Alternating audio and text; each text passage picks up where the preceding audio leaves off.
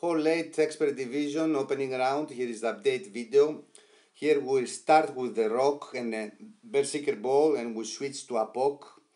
The thing from the rock we have to take our uh, target at full stretch with the berserker ball. We, we see that the bottom left corner, the new ring, the green ring touching the rough and then we release there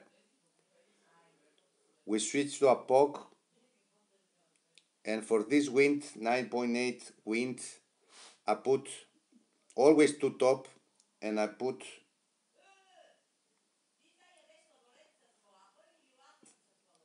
four top I believe or 3.7 I don't remember.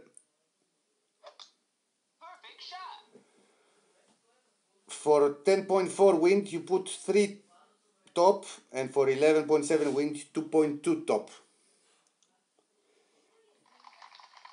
And we make curl to the outside triangle as you can see.